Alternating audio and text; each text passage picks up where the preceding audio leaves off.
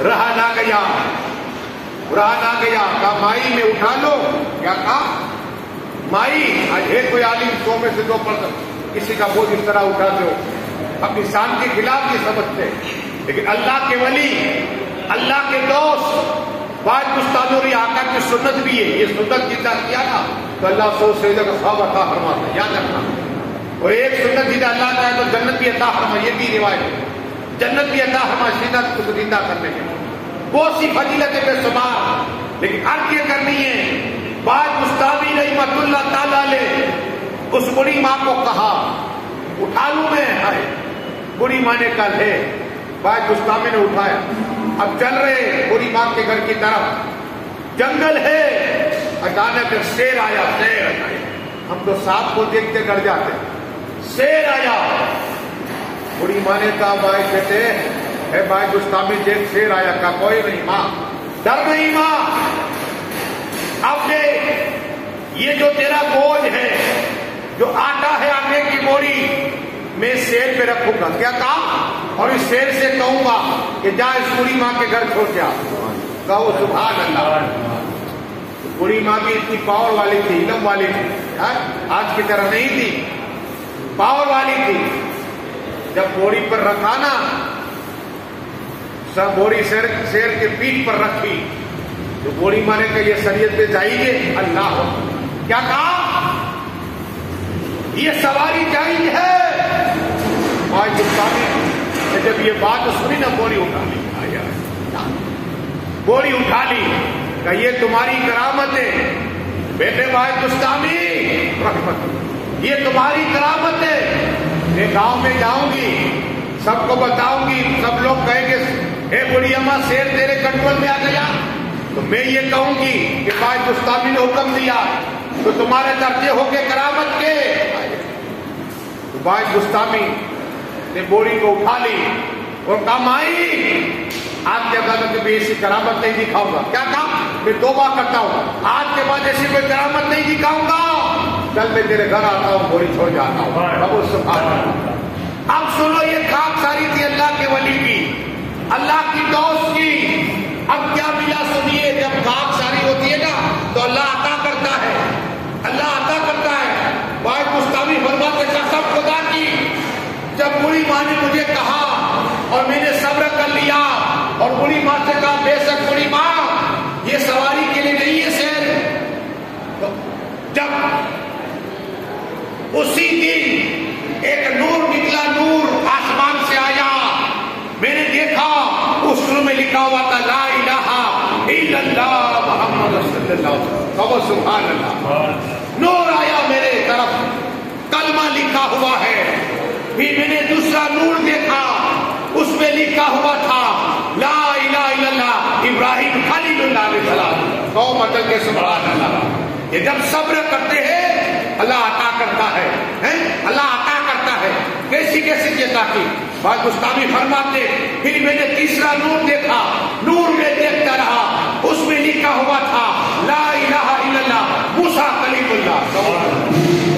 मैंने नूर देखा नूर देखा, और फिर मैंने देखा, उसी नूर में लिखा हुआ है, ला इला इल्लल्लाह, ईसा और ला इला इल्लल्लाह मोहम्मद रसूलुल्लाह सल्लल्लाहु अलैहि वसल्लम नौ मज़हब के सवाल ये है नूर में देखता रोज़ाना और मुझे दिल को मेरे दिल को सुकून मिलता है। और ये दुरुस्त से बल्ला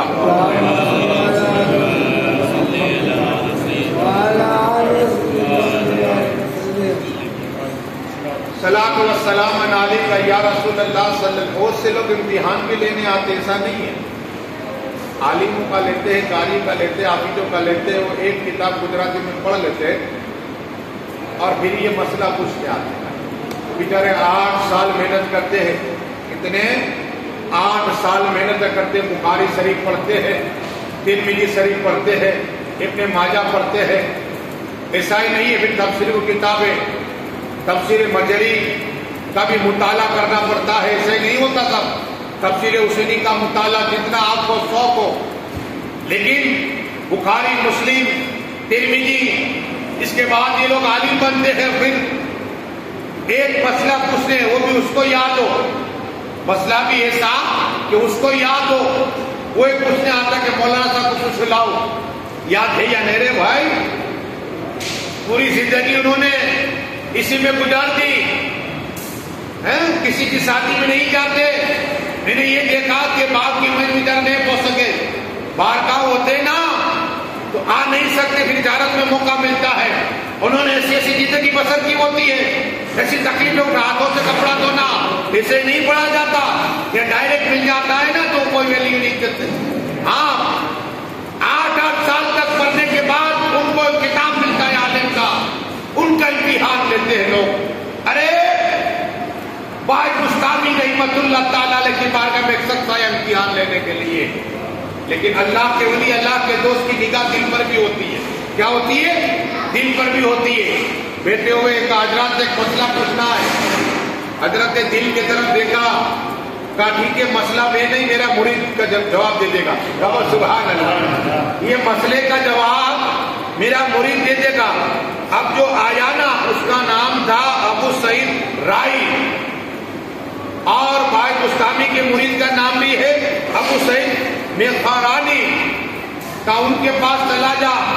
जो भी मसला है इसलिए कि मैंने उन्हें इलम अता कर दिया है। कब सुबह अल्लाह अब पीर का हुक्म। मुरीद के नाम के नाम के पीर ने कहा है। अब अबू सईद राय, ये इम्तिहान लेने आए थे। क्या देखा कि अबू सईद में कहानी नमाज़ पढ़ रहे हैं। नमाज़ पढ़ रहे हैं। इबादत में है। और सलाम फेरा ज़िक्र खुदा कर रहे हैं। अल्लाह अल्लाह अल्लाह का ज़िक्र कर रहे हैं। यबू सही देख रहे हैं। जब ज़िक्र से फारिग हुए, देखा कि अबू सईद राई क्या है? सलाम किया। सलाम का जवाब दिया। कहा एक मसला पूछने आया हूँ। मसला पूछने आया हूँ आपके पीर मुसद बाज मुस्तामी की बारगाह में गया था मैं। तो कहा, उन्होंने क्या कहा आपके पास भेजा किला में फरमाया, उनसे मसला पूछ। तो कहा, मसला ये है कि मुझे ताजे अंगूर, खाने अंगूर बीन मौसम के है। बीन मौसम के अंगूर खाने।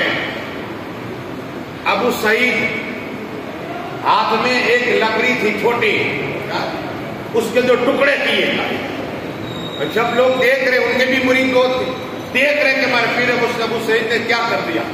दो टुकड़े किए, ज़मीन पे गाड़ दिए। क्या कर दिए? ज़मीन पे गाड़ दिए। वो अबू सईद राई ने कहा, क्या कर दिया आपने। कहा, देखो, क्या हो रहा है? देखो, देखते रहो।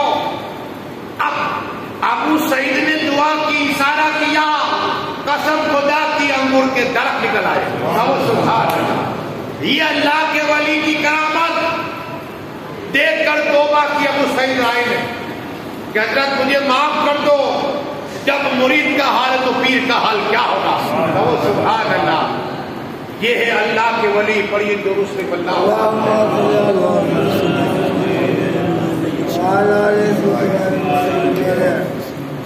सलात वसलामन अली का या रसूल अल्लाह सल्लल्लाहु अलैहि वसल्लम अर्ज़ ये करनी है। इंसाफ क्या है? इंसाफ क्या है? सनिए मचल जाओ हिंदुस्तान में आज ये जालिमों की हुकूमत है पहले मुसलमानों की उमरिया करते थे। अगर बादशाह से भी कुछ गुनाह हो जाता ना तो उन्हें कर खटारे में खड़े होना पड़ता था। हाँ खड़ा होना पड़ता था दौरत के अंदर। जज के सामने, काजी के सामने खड़ा होना इसलिए हिंदुस्तान, अब सिर्फ़ ये हिंदुस्तान नहीं है इतना बड़ा था, सुनिए। ये हिंदुस्तान है ना, पाकिस्तान, हिंदुस्तान अंदर आता। बांग्लादेश भी हिंदुस्तान के अंदर आता। अफ़गानिस्तान आधा से ज़्यादा हिंदुस्तान में आता, श्रीलंका हिंदुस्तान के अंदर आता, और उसके बादशाह सुल्तान गयासुद्दीन नाम याद रखो। सुल्तान गयासुद्दीन हिंदुस्तान के बादशाह थे। मुसलमान थे वो। क्या थे? मुसलमान थे। उन्होंने काजी रखा, काजी सिराजुद्दीन, क्या है? हिंदुस्तान के ये काजी थे। और गयासुद्दीन को, सुल्तान गया हिंदुस्तान के गयासुद्दीन सुल्तान को शिकार का शौक था। फिर लोग शिकार करने जाते थे।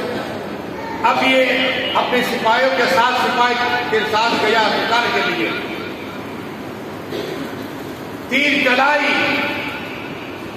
जानवर तो भाग गया, एक छोटा बच्चा था उसके लग अल्लाह तो छोटा बच्चा गरीब का था। वो तड़पा। तड़पा।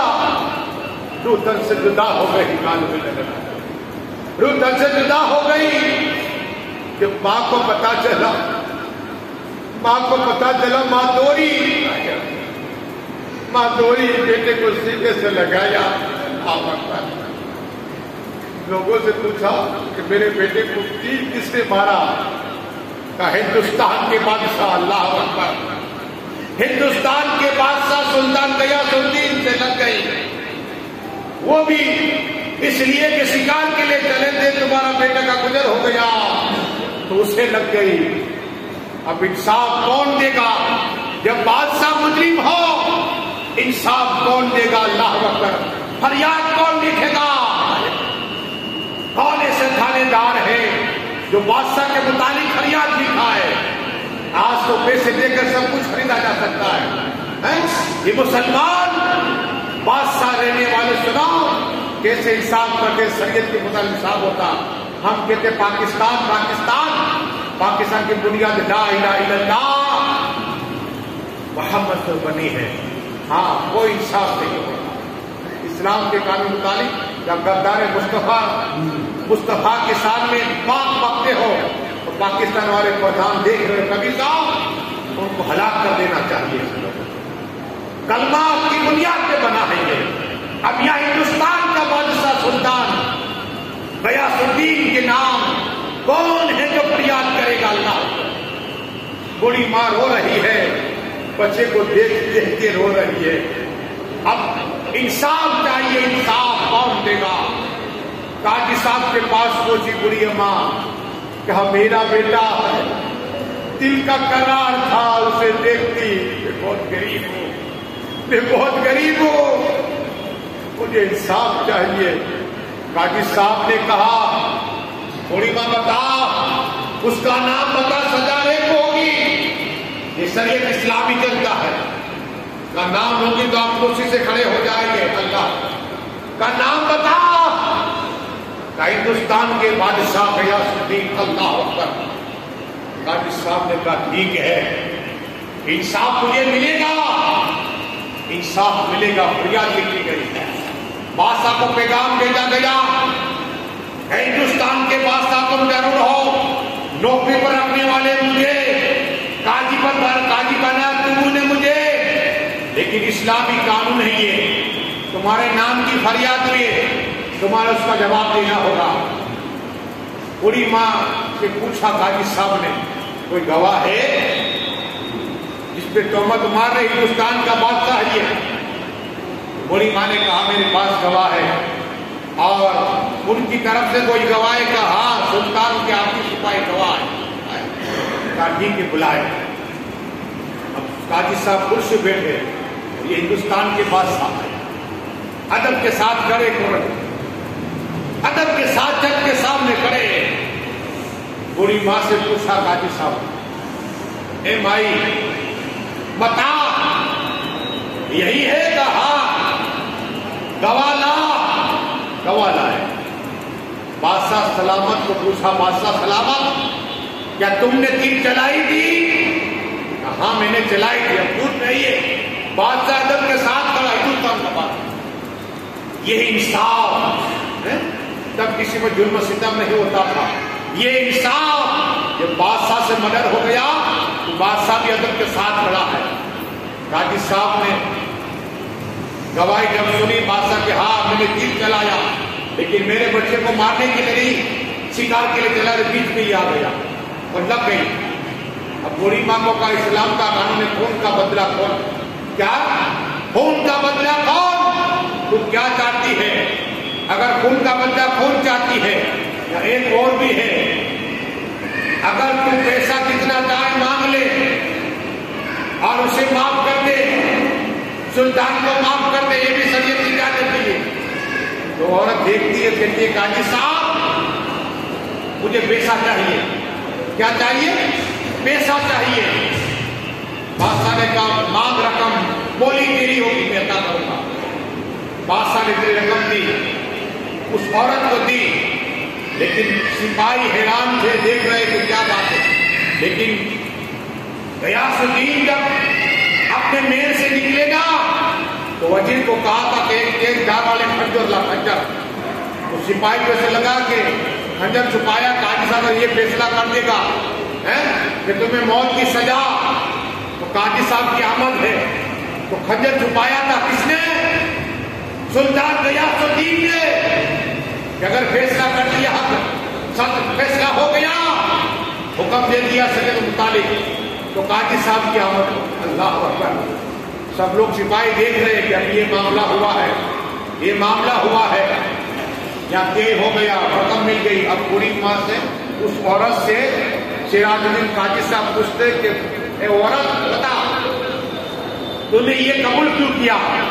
का मैंने कबूल इसलिए कर लिया कि ऐसे इतना बड़ा बादशाह औरत के अंदर आया। पहली बात तो ये, और कोई दबदबा नहीं, और अदब के साथ खड़ा है। वो सुबह देता ये अखलाक देखकर, ये किरदार देखकर, मुझे दिल में ख्याल आया कि कौन का बच्चा कौन नहीं। बल्कि पैसे लेना चाहिए, ताकि तुम्हारे हक है हिंदुस्तान में सल्तनत करने का। वो सुबह देता और मैं दुआ करते कि अल्लाह तुम्हारी उम्र बरकत था अब सुनिए, खंजर निकाला किसने? गयासुद्दीन ने खंजर निकाला। ये देख रहे हो? ये खंजर देख रहे हो? जब खंजर देखा ना, कसम खुदा की का ये क्या है खंजर? का ये इसलिए अगर तुमने इंसाफ ना किया होता, तुम्हारे गर्दन अलग कर देता, अल्लाह। तुम काजी थे वैसे काजी को गवारा नहीं करता। लेकिन तुमने इंसाफ किया। क्या कहा? तुमने इंसाफ किया। काजी साहब भी बहुत जलाली थे, खड़े हुए। और नीचे से गद्दे से नीचे से घोड़ा निकाला। का बादशाह, सलामत। अगर तुम मानता नहीं तो घोड़े से बनवा देता सुबह अल्लाह ये इंसाफ ये जुलूस नहीं बताओ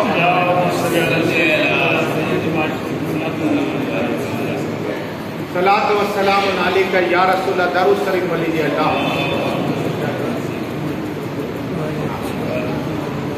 दारू शरीफ पढ़ी अल्लाह वाला कुरान शरीफ क्या है सुनिए? और कलमा शरीफ और दरुद शरीफ पचास हम तो देखा। एक दरुद सुन लीजिए ताकि तुम्हारा ईमान ताज़ा हो जाए। आका सल्लल्लाहु अलैहि वसल्लम फरमाते हैं कि मेरा कोई उम्मती घर पे पड़ता है ज़रूर। वेद के पड़ता ये महफिल का नाम भी आएगा। अब ऐसे नहीं मैंने पढ़ा अल्लाह सैदना मोहम्मद वाला मोहम्मद वाली वसाब वसलीम तो ये नाम आएगा। किसका? हमारे अली भाई का। फिर उनके अब्बा का उमर भाई का। तो ये नाम आज की मेरी चार की मजलिस थी।